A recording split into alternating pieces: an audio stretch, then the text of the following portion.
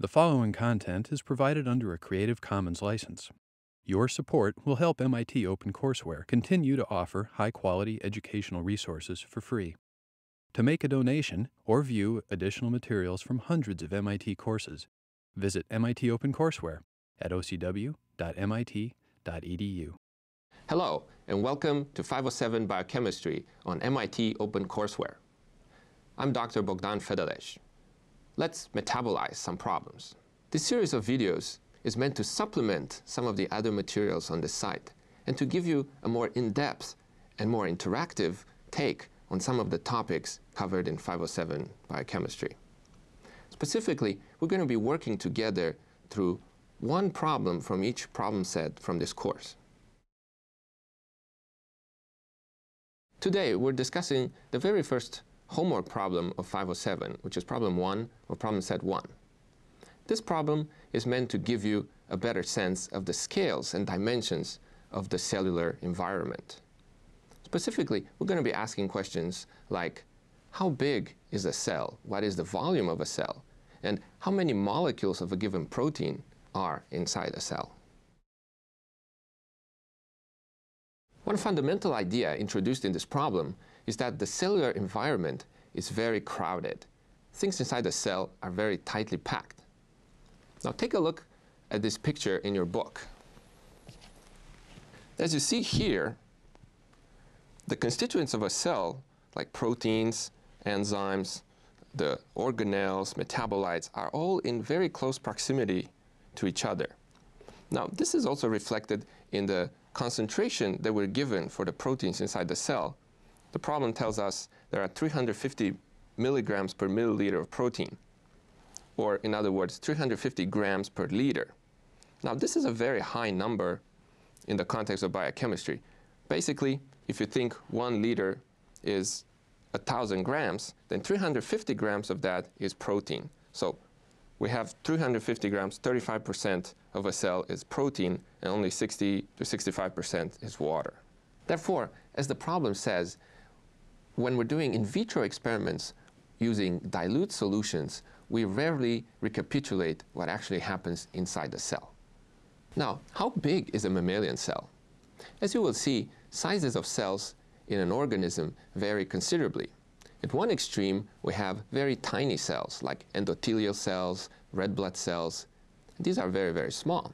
On the other end, we have like the reproductive cells like the egg, which is 100 to 200 microns in diameter, or even cells that can stretch for centimeters, like the muscle cells and certain nerve cells. Now, in this problem, we're going to be dealing with the red blood cells, one of the most abundant cells in the body. As you can see in this very colorful picture, uh, a red blood cell can be approximated by a cylinder, 6 to 8 microns in diameter, right? So knowing that, we can actually calculate some dimensions of the red blood cells, such as the total volume and their surface area. Now, here is a cylinder by which we approximate a red blood cell. And let's say this cylinder has the height h and the radius r. From our problem, we know h is about 2 microns, and r, well, we know the diameter is like 6 to 8 uh, microns, so R is going to be, let's go with the middle, 3.5 microns. Now, as you remember from, uh, from geometry, then the volume of the cylinder is going to be pi r squared h, which when we substitute our units, we're going to get about 77 cubic microns. All right, we'll come back to discussing the units in a little bit. Now the surface area is just going to be the, the area surrounding the cylinder plus the two circles on top and the bottom. So the two circles are 2 pi r squared plus the surrounding area is going to be 2 pi r h.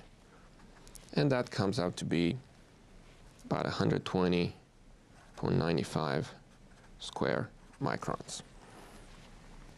Now, how much is really one cubic micron?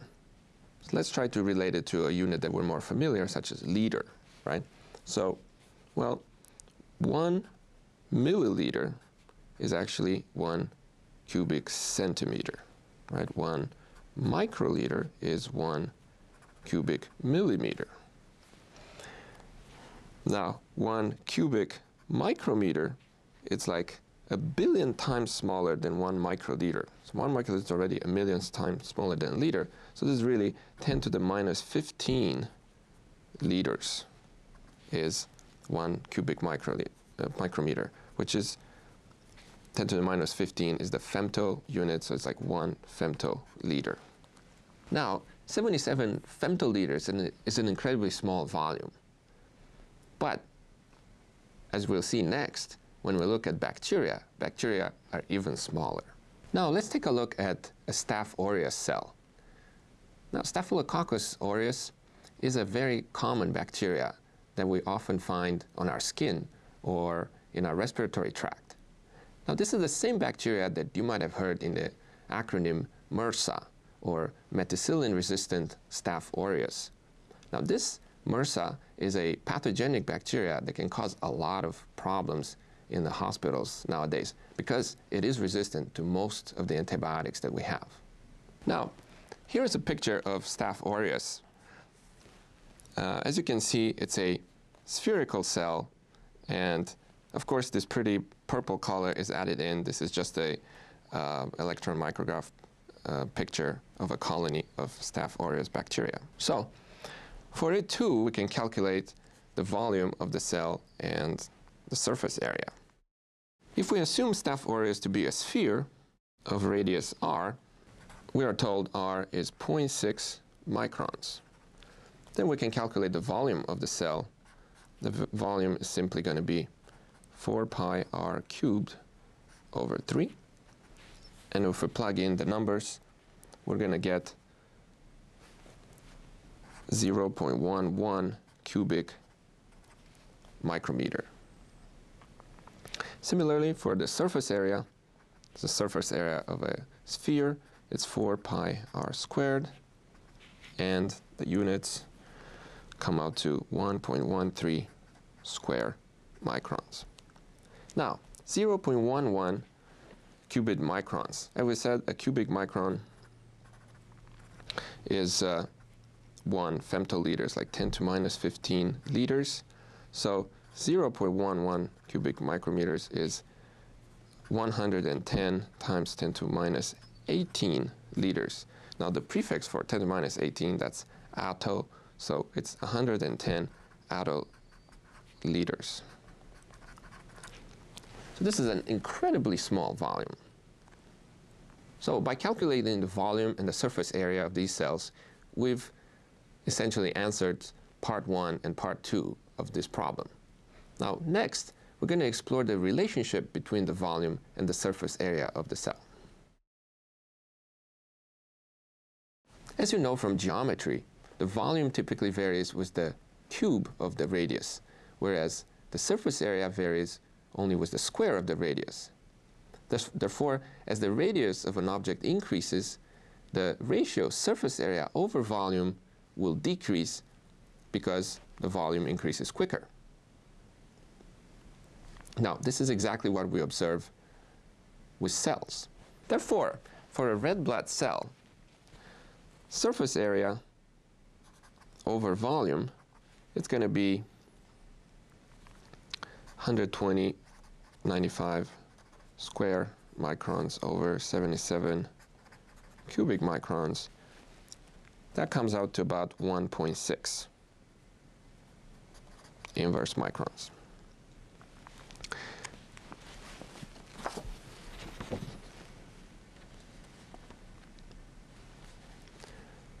Now, for a Staph aureus cell, surface area over volume is going to be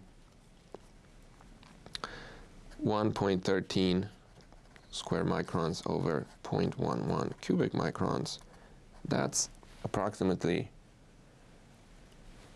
that's approximately 10. Why is this important?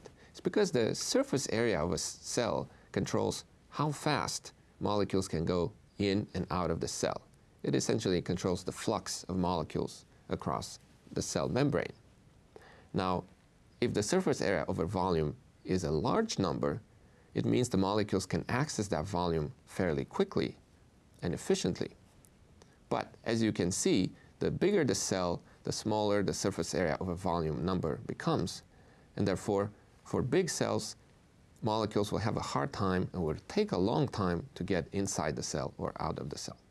That's why nature has designed ways to transport molecules to make them achieve the right concentration efficiently.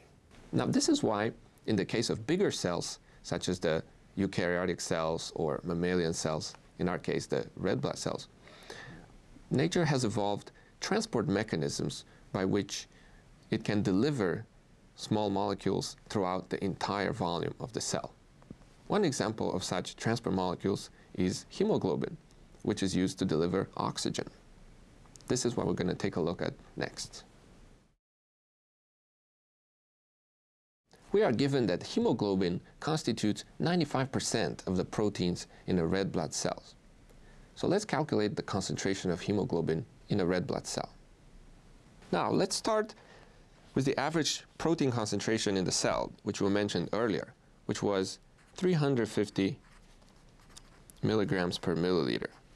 Now, if 95% of this is hemoglobin, then the concentration of hemoglobin is going to be about 322 milligrams per milliliter. All right, now I'm going to abbreviate hemoglobin as HB. We're told that hemoglobin has a molecular weight of 67,000 Daltons, which is another way of saying 67,000 grams per mole. All right, so then the concentration of hemoglobin is going to be 322 milligrams per 67,000 grams per mole is the same as milligrams per millimole and per milliliter. The grams go away and we get 0.0048. It's going to be millimole per milliliter. And that's the same as mole per liter. That's the molar concentration. Or we can write it 4.8 millimolar. Now, this is a pretty important range to keep in mind because the most abundant proteins, such as hemoglobin, are going to be in the low millimolar range. Most of the other proteins are going to be in the micromolar range in a cell. Now, let's calculate how many molecules of hemoglobin we have in a red blood cell. So, we calculated before that the volume of a red blood cell is actually 77 femtoliters. That's once again 77 times 10 to minus 15 liters. Now, we know in this volume the concentration of hemoglobin is 4.8 millimolar. So we can calculate the number of moles. So nu number of moles is going to be the concentration times the volume. Okay, so we have 4.8 millimolar times 77 times 10 to minus 15 liters equals, now of course millimolar, we have to transform this back into molar, we have mole per liters, the liters are going to cancel out, so we're going to get moles, and it's 369 or so times 10 to minus 18 moles. Okay, remember 10 to minus 18, that's attomoles. So 369 attomoles of hemoglobin we have in a red blood cell.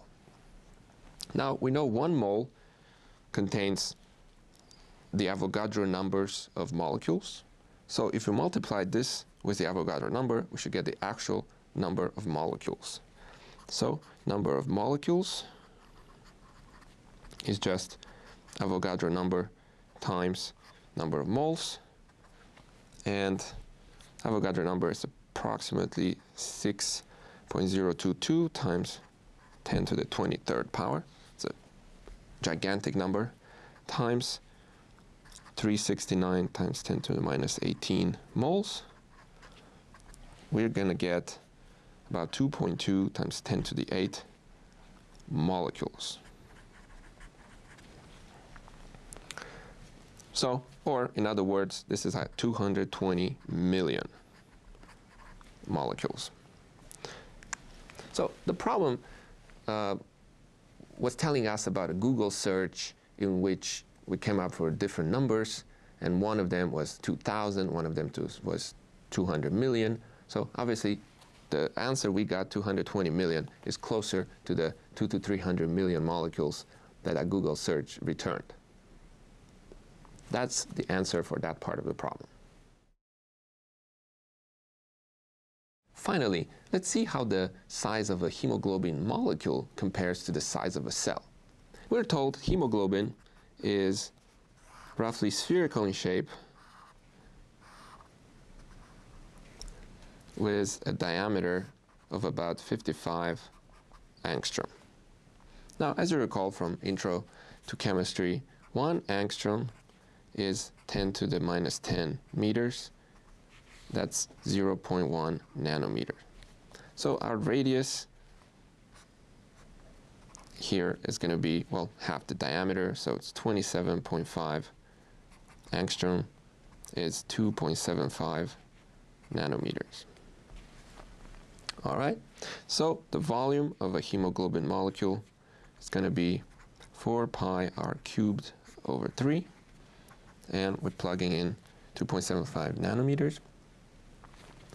So it's going to come up to be 8.7 times 10 to the minus 8 cubic microns. Right? Now, you remember the volume of a red blood cell was 77 cubic microns. So, if you look at the relationship between the two, well, how many volumes of a hemoglobin can we fit in a red blood cell? Well, we just divide volume of the red blood cell to the volume of hemoglobin, 77 over 8.7 times 10 to the minus 8. Both are cubic microns. And that gives us 8.8 .8 times 10 to the 8 molecules.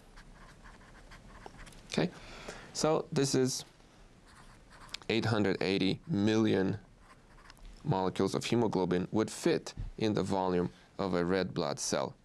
Well, if only hemoglobin would be in there. Obviously, this number is an overestimation because when you're packing spherical objects, they're not going to pack very tightly with each other. And as we said, the shape is only approximately spherical. But nevertheless, it's on the same order of magnitude as the 2 to 300 million molecules of hemoglobin that we calculated earlier based on the concentration. So from both the volume standpoint and concentration standpoint, we now have uh, calculated how many molecules of hemoglobin can fit in a red blood cell.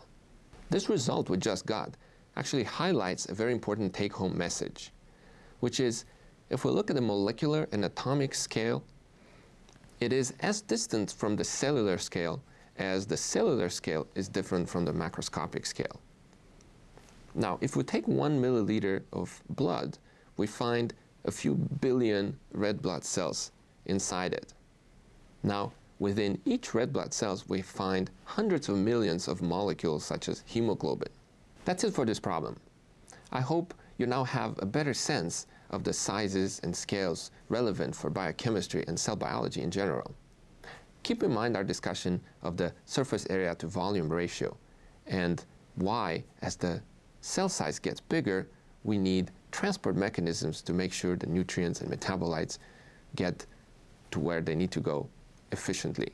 Also, keep in mind some of the concentration ranges that we discussed, as these will become very important in understanding the biological significance of some of the constants that we're going to calculate for enzymes later in the course.